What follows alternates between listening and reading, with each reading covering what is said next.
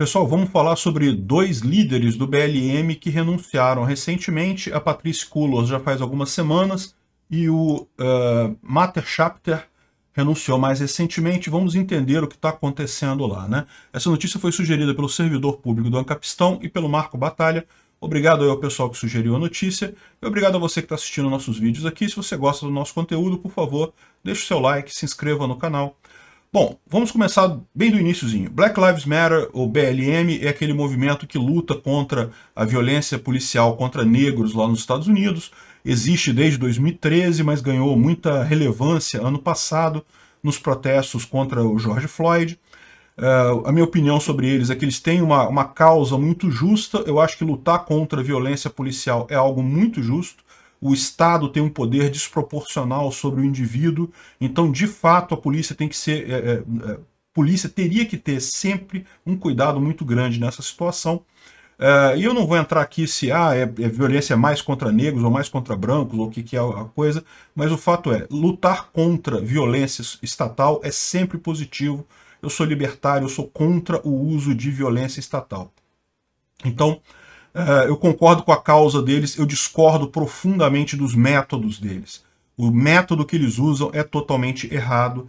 Eu já fiz vídeos explicando que esse negócio de ah, fazer briga, quebrar coisa, quebrar a propriedade privada de outras pessoas, culpar todos os brancos por, pelo problema dos negros, não é assim que funciona.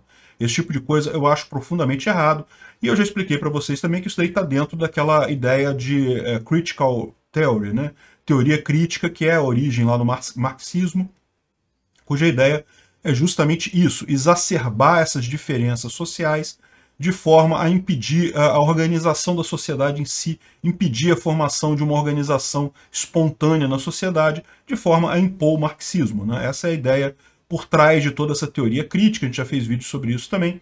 E essa é a ideia do Black Lives Matter. Por isso que eles atuam dessa forma. Eles não atuam tentando resolver o problema, eles atuam tentando exacerbar o problema, exacerbar a coisa. Né? Eles querem que piore a relação entre brancos e negros, isso está mais do que claro, é só você ver o tipo de discurso que eles usam. Né? Mas, além disso, o BLM é, sem dúvida alguma, uma organização muito bem sucedida. Né? Com os protestos que houveram no passado, eles cresceram muito de importância, receberam muitas doações, e aparentemente uma parte dessas doações, pelo menos, ficou com os líderes do movimento, que são, no papel, três mulheres. Né? A Patrícia Cullors é uma, delas, uma delas apenas, talvez fosse a mais importante, a mais ativa. E aí o que aconteceu? Ela começou a comprar casas. Lembra? Eu cheguei a fazer um vídeo aqui falando sobre isso, que ela comprou uma casa cara, até num bairro que é considerado chique, lá em Los Angeles e coisa e tal. E eu, eu falei na época, acho que não tem nada de errado nisso, ela, ela, é, ela gerou valor para a sociedade. É, o que ela fez ali em termos de organizar o um movimento coisa e tal, as pessoas que deram dinheiro para ela, deram de forma voluntária, né? Ela gerou valor para a sociedade nisso daí. O que eu acho que é o problema é que, é, no final das contas, é uma fraude, porque como eu expliquei, é, esse tipo de teoria crítica comunista, ela não visa resolver esses problemas. Embora o BLM fale que, que essa luta deles todas, é, essa luta toda, é para acabar com a discriminação contra negros, é para evitar a violência policial contra negros, na prática não é isso. O que eles querem é exacerbar essa violência, porque o objetivo deles é o marxismo. E tem palestras dela falando que ela é abertamente marxista, que ela é uma marxista treinada, ela tem um treinamento em marxismo, justamente marxismo prático, que é isso, que é você tentar é, criar condições para a revolução comunista, né? Essa é a ideia desse pessoal, vocês sabem, eles têm esse problema mesmo. E, bom, no final das contas sobraram as duas outras fundadoras, mas eu quero lembrar vocês também, que tem um outro vídeo que eu já falei sobre isso também, é, que na verdade é, é bastante conveniente né, que um movimento marxista negro tenha três mulheres como líderes, inclusive, se não me engano, acho que elas são lésbicas também, pelo menos algumas delas são lésbicas. É aquele negócio de interseccionalidade, né? Aquela pessoa assim, lá no, no, na, no grau da opressão, ela está na escadinha máxima, lá de mais oprimida de todas. No final das contas, é, essa ideia toda, a gente sabe, é organizada pelo Eric Mann, que é um comunista conhecido lá californiano. Ele que está por trás dessa história toda. É lógico, ele não aparece porque botar um homem branco velho como líder do BLM ia ficar feio, né? É, o marketing dos caras é bom, eles fazem a coisa muito bem feita. Para quem tem alguma questão sobre isso, eu já falei isso num vídeo, já expliquei essa história do, do Eric Mann, como é que ele é, geria uma organização não governamental ali na Califórnia, e daí ele, ele entrou em contato com esse pessoal, essas, essas mulheres todas trabalharam para ele nessa organização, e, e aí é, lá que surgiu a ideia, e eles resolveram fazer esse negócio, e lógico, botaram as mulheres como, como a liderança disso daí, né?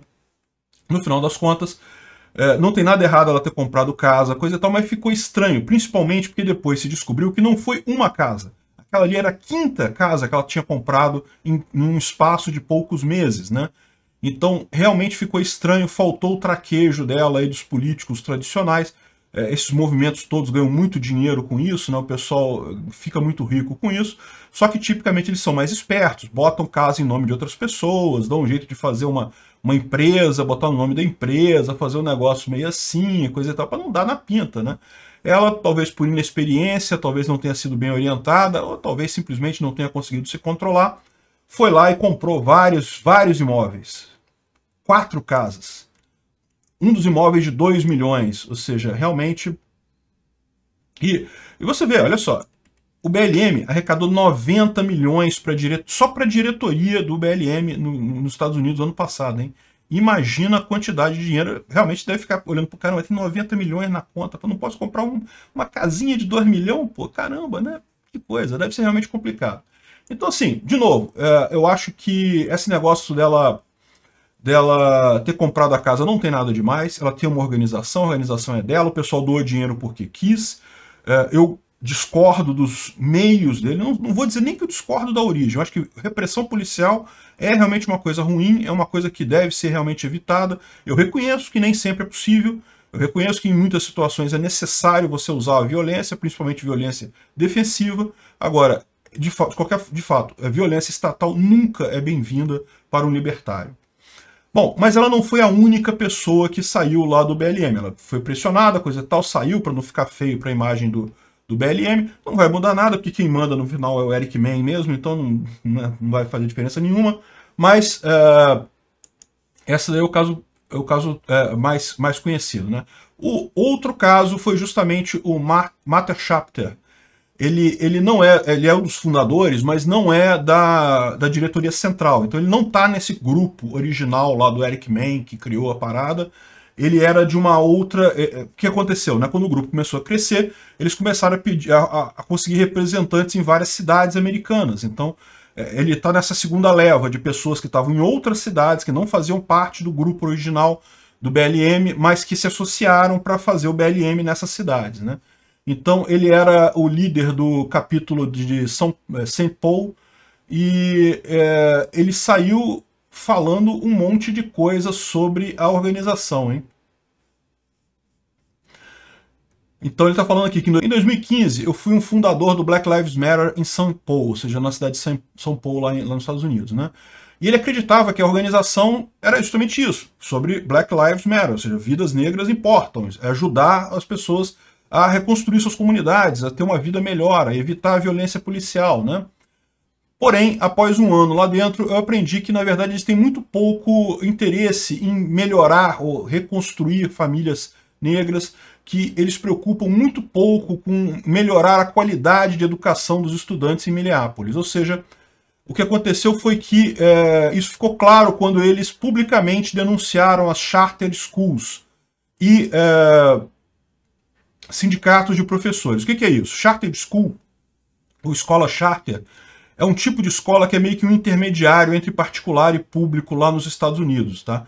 O que, como é que funciona isso? Os professores de uma região, junto com os pais de alunos e coisa e tal, criam uma associação que gerencia a escola no lugar e essa, essa associação recebe dinheiro público para se sustentar.